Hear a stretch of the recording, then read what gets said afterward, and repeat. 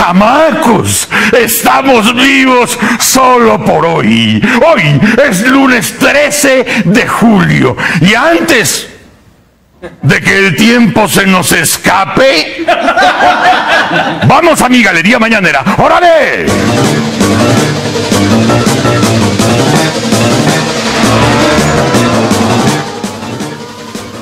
Vuelva a escapar Joaquín Guzmán. ¿Usted se compromete a que eso no, no va a ocurrir? Es una obligación que tiene el Estado y más, creo yo, frente a lo que ya ocurrió en el pasado, sería eh, verdaderamente algo más que lamentable, digo, es imperdonable que ahora eh, el Estado y el gobierno tomen las debidas providencias para asegurar el que lo ocurrido hace algunos años se pudiera repetir. Es claro los compromisos. Más providencias, es algo en lo que he insistido, bueno, créeme que todos los días eh, al titular de gobernación eh, es algo que ya se convierte y lo tienes bien vigilado, estás seguro porque evidentemente es una responsabilidad que tiene a cuestas el gobierno de la República el asegurar que la fuga ocurrida hace algunos años nunca más se vuelva a repetir. Sería imperdonable Sería imperdonable. No puede ser, no podría ser. He estado diciendo todos los días, todos los días. Imperdonable es esta palabra que ya no se nos va a olvidar nunca desde ayer con esta obra que tenemos al alcance de todos ustedes. Evasión de máxima facilidad. ¿Cuál puede ser el adjetivo más preciso para describir lo que pasó la noche del sábado? Indignante ya está descartado, porque fue el que usó Henry Monster Peña Nieto desde París para calificar la evasión, fuga, huida o escape de Joaquín Guzmán, lo era mejor conocido como el Chapo Guzmán, del penal de alta seguridad del altiplano ubicado en Almoloya, Estado de México. O sea, indignante ya no nos funciona, porque lo usaron hasta, hasta varios políticos del PRI que quisieron lavarse la carita en el Twitter, ¿verdad? Mostrando indignación por la fuga del Chapo. De esta cárcel se hablaban maravillas de su altísimo sistema de seguridad, el que se suponía era inviolable, chamacos. Sus sistemas electromecánicos, electrónicos, eran los más modernos del mundo. Hay detectores de metal, de drogas, de explosivos, de radiocomunicación, voz, datos, sensores de presencia, según dice la página de gobernación en la que se describen los penales de alta seguridad. Hace más de un año, el gobierno federal se ufanaba se ufanaba de haber detenido al delincuente más buscado del mundo. Es más, al delincuente que se le escapó al pan. Señor. Esa, esa era, ese era el chiste. Esa era la venta más grande, ¿no? Ese que se les escapó ahí en Puerta Grande, a Fox. A, ese lo volvimos, lo atrapamos porque nosotros somos una cocha, somos, somos, uy, nosotros, nosotros. Los Estados Unidos habían abatido a Osama Bin Laden, pero el Chapo era el que le seguía en la lista. Sí.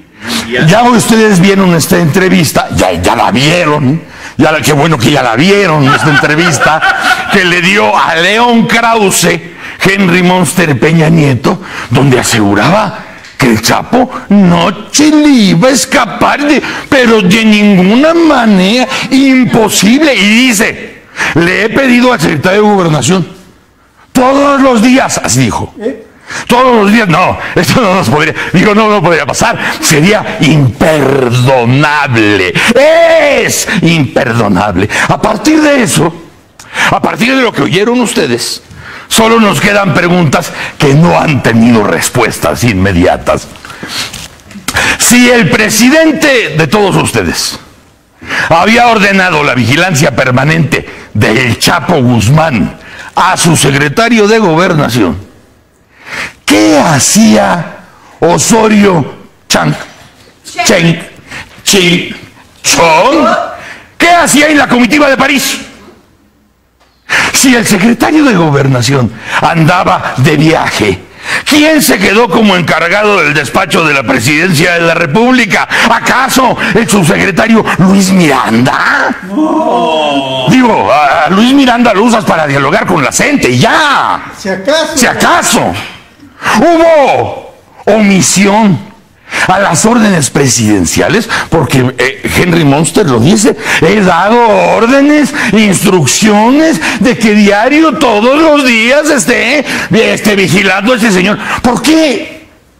¿Por qué se permitió edificar casas a menos de un kilómetro y medio de un penal de alta seguridad?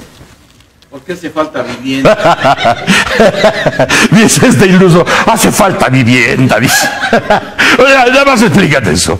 Porque además están los, los mapas de Google. Y entonces ves eh, el año pasado que no había absolutamente nada ahí. Y de pronto hay una construcción. De pronto surge una construcción, pero a, a, kilómetro y medio del penal de alta seguridad del altiplano y de una, de una, de una, este. Batallón. Un batallón del ejército. Ahí hay una región militar, ¿no? Sí, sí, que sirve de resguardo al penal. Que sirve, fíjate, un, un, un bastión militar que sirve de resguardo al penal y a kilómetro y medio empiezan ahí a construir una casa y nadie pregunta. Esta es una es una respuesta que, que debe dar algún comisariado ejidal, algún presidente municipal de Almoloya de Juárez, el secretario de gobierno del Estado de México, el mismísimo gobernador chapeado de la entidad. Las autoridades federales no se dieron cuenta que había obras de construcción atípicas en la zona del altiplano. No, Disculpe. No, no, no, no se, no se dieron cuenta o, o estuvieron viendo para otro lado. Porque, disculpen ustedes, este, este tipo de cosas nada más se hace con dinero, con mucho dinero, con harto dinero, que manejas desde dentro y desde afuera. A ver, fíjate de quién es el retrato. Eh, eh, ah, exacto. ¿Quién tiró los sistemas de seguridad del altiplano? ¿En serio? Ya no funcionan los sensores ubicados en los mismísimos cimientos de la cárcel más moderna de este país. ya no. No hay sensores en los cimientos. No, te, te lo, te lo puedes imaginar. Hoy se descompusieron los sensores. Ay, ahí lo dejamos para el otro año porque ya no alcanza para el presupuesto. Les faltó mantenimiento. Fíjate nada más. Mantenimiento. ¿Había cámaras en, en las regaderas? No. No. No hay cámaras en las regaderas. Privacidad.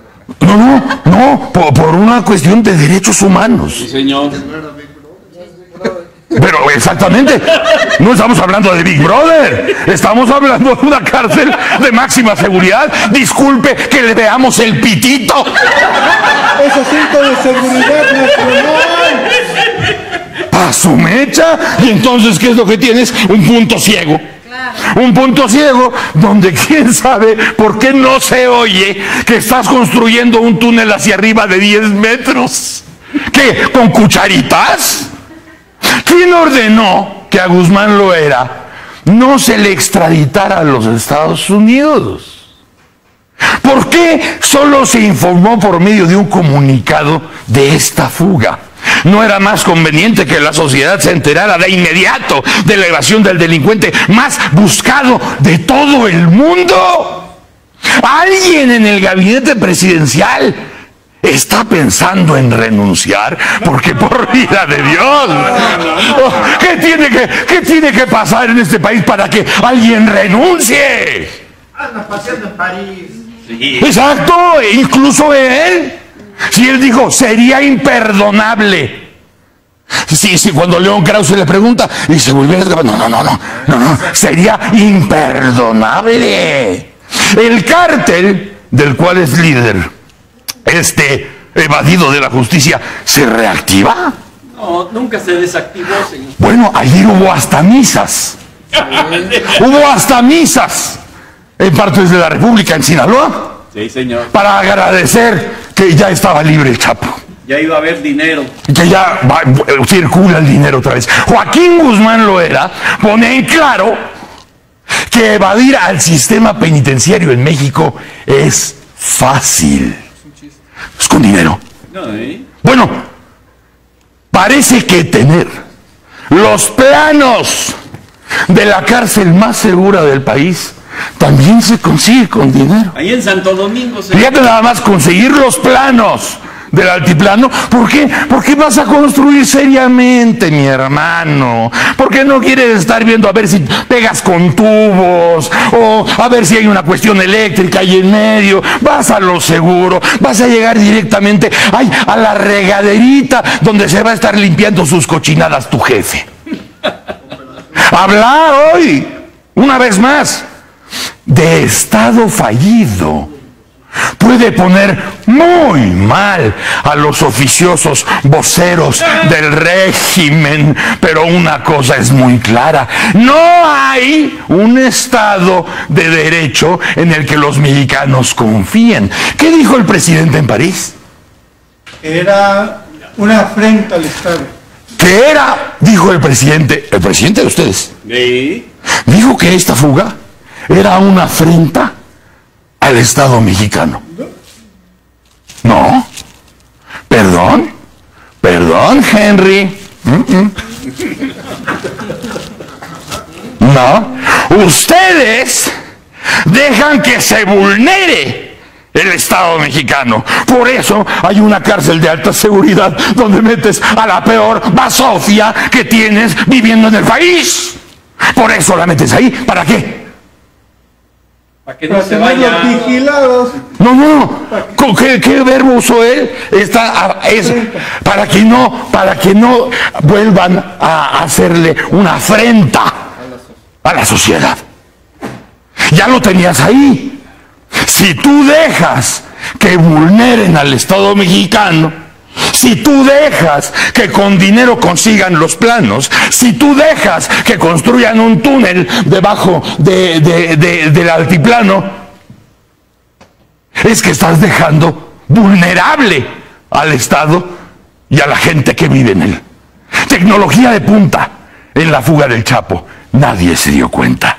Hacen falta muchas más respuestas a muchas preguntas que aquí todavía nos falta por hacer. Hoy, México es mucho más inseguro que el viernes y nuestras máximas autoridades están paseando de poca madre en París. ¿Quién gobierna? ¿En quién se puede confiar? Pero ¿qué tal? ¿Qué tal que algunos en el gobierno y muchos desde de, sus- de esos de estos personeros lisonjeros se jactan de haber detenido el avance de Morena, de perseguir a quienes creen que los que los echaron de cabeza con sus negocios inmobiliarios, que, que le quitan el trabajo a las voces que nos hacen falta y que con pírrica mayoría en el Congreso ya tienen el futuro garantizado. Para eso me gustaban. ¡Órale!